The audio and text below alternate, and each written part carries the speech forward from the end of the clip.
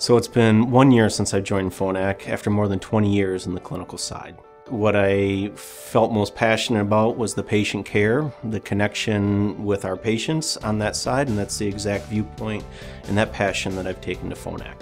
In my new role, I'm managing and building a team of clinical researchers. What our focus will be will be to build the scientific evidence supporting the new products that come to market. Currently, I have two goals first being the completion of the construction process of our new Phonak Audiology Research Center. This will be the first research labs that Phonak has supported in North America outside of its primary headquarters in Switzerland.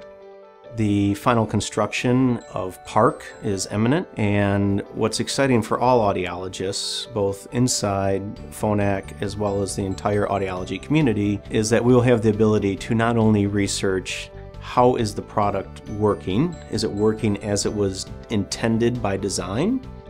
And also, what does it do to improve the patient's life? So how we're going to accomplish this task is twofold. The first is that we're able to, to evaluate the effectiveness of the hearing aid design in a traditional acoustic research laboratory. Once we know exactly what the device is doing and that it's working properly, we can then transfer that over into a very unique, uh, first of its kind listening loft. And what the listening loft is, is a replication of an actual first floor of a home, where we'll be able to replicate everyday real world environments. It's going to produce data that will truly make meaningful differences in how we are able to respond to the to the known demands of our end user. It's very predictable of the of the challenges and the successes that hearing aid patients experience.